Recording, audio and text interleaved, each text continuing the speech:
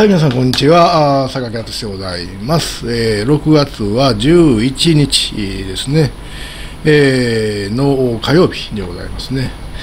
えー今日はウィークデーなんで、空いております。日経平均はプラス154ですね。え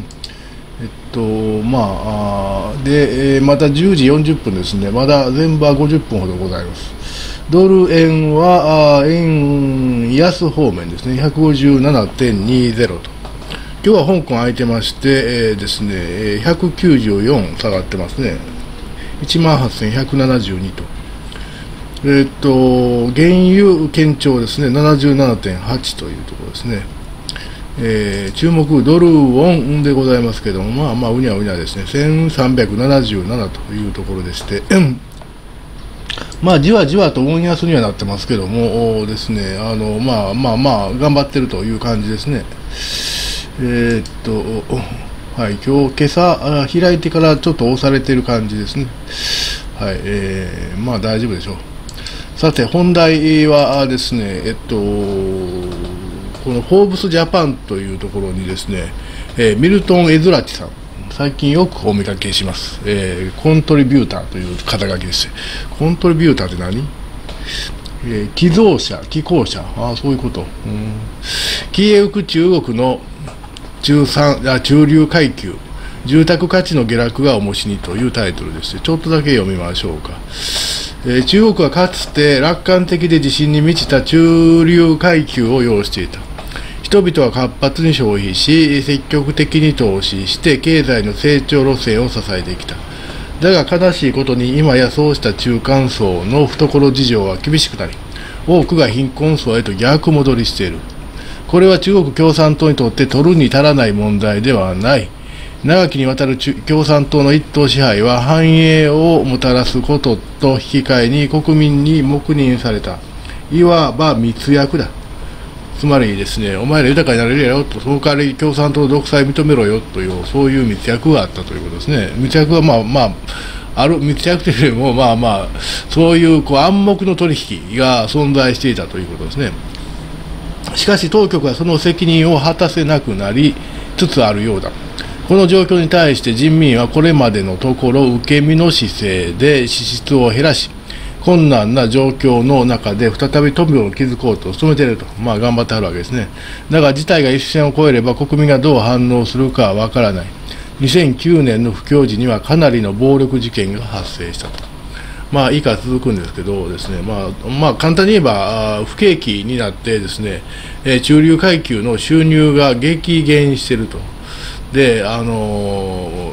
収入も激減してるんですね。公務員の給料も半減してるとかいう話があって、あるいは民間企業も給料を減らしてる。あるいはまあ、減らしてるぐらいならいいんですけど、未払いなんていうのもですね、頻発してるわけでして、今まで安定的に暮らしてきたですね、まあ日本でいや年収、日本円にすると300万ぐらいのクラスが向こうの中流層なんですけど、これが急激に崩壊しているということですね。300万から600万ぐらいでしょうかね。ぐらいの人たち、まあ、向こうでいやちょっと豊かな人たちですね、あの年に2回ぐらいは海外旅行も行けるぐらいの、そういう人たちのですね、えー資産と収入が崩壊していると。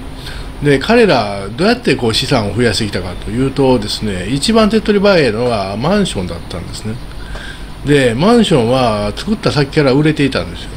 で、売れた先から値上がりしていたんですよ。だからマンションを買えさえすれば資産は自然に膨らんでいったわけですね。これがこのほんのですね4年ぐらい前までのですね状況であったんです。で、マンションを買う権利というものがですねまあまあこう貴重であったわけであってそれは向こうはああいう社会ですからですねあの権力者が優先的にマンションを買えたわけですね。で権力者というのは何かと言いますと要は共産党員なんです。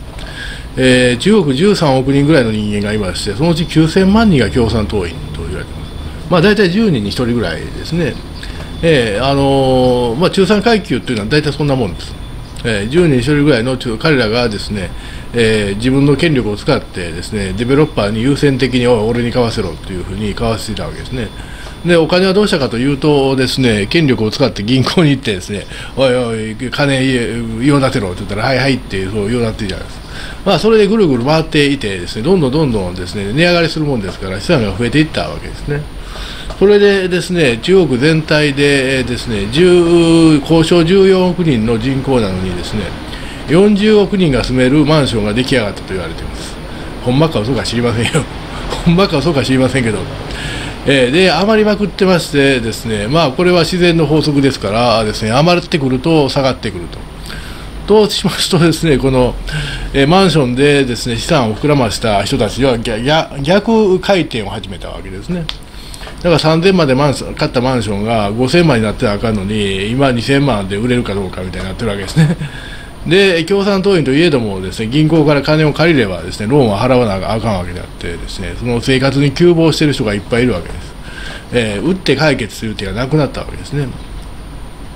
まあ、ある意味、日本の,、ね、あの平成バブル、1980年代のです、ね、後半ですね、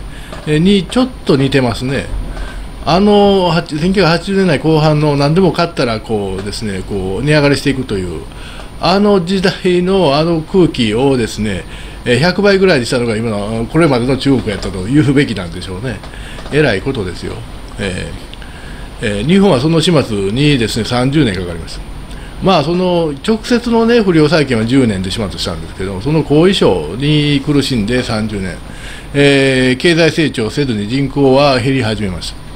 え中国はもう今現状でですね経済成長はほぼマイナスです。あの多分実質マイナスで、あこう当局の発表は5%プラスですよ。でもマイナスでなおかつですねえっと不動産は下がり続けてですね。えー、まあ人々の人口も減ってですね 人口も減るわですね経済成長せえへんわって給料は下がり続けるわ不動産も下がり続けるわっていうのが今も始まってるんですね。これは2021年から始まったと考えていいでしょう。ん、だからそこから何年で終わるのかということですね。日本はですね7、8年目にですね金融危機が訪れます。今、中国はまだ4年目でございましてですね、まあ、金融危機は訪れてますよ、うん、訪れてるんですけど、表面化していないと。でもう壊れ方半端ないんですよ、はっきり言って、中国の壊れ方は。あのもしですねあのこれが同じことが日本やアメリカで起きていたらですね暴動が起こってるしですね政権交代になってるしですね株価は暴落してると思います、えー、ただ中国にはですね世界一の巨大な警察の権力があるわけですね。まあ、まあ、いろんな警察あるんですよ。あの民警とかなんたらかんたらってあの直接あのおまわりさんの格好してるやつもいればですねいろんな警察があってそれが言論を取り締まりですね、えー、実際の暴動を取り締まりですね で不満を言うやつは家に踏み込んで捕まえて刑務所に放り込むと、えー、あのー 銀行に金を下ろせへんって暴れたらですね警察に引っ張られるというそういう世界でですねもう強権的に抑え込んでるわけです。しかし、いくら抑え込もうと、今、中国、このエドラさんが書いてるようにですね、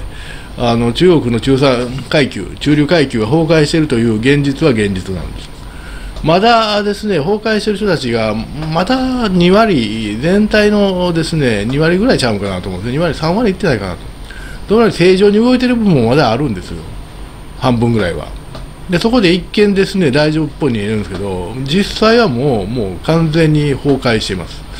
えー、もうもうその警察の強権力でもってですねそれが表に出ないようにしているだけなんですよ。えー、あの、ここにこのこの方ですね書いてあるの2009年、あの時リーマンショックの後の大不況の時にものすごく暴動が起こったんですね、中国で。あのあれからですねおよそ15年経ってますけども、また起こりますよ。というか、現に起こってるんちゃうかな、僕らに伝わってこないだけで。でで、これからですね、これを防がなければ中国の共産党は崩壊するということなんですね。まあ、あと5年も大変のちゃうかなというのがいつもの私の見解でございます。え今回ちょっと読み始めまして、え中身まで言ってないんですけど、具体的に書いてありますんで、あのなかなかいい記事です。このフォーブスのですね、アドレスを一応貼っておきます。皆さんどうもありがとうございました。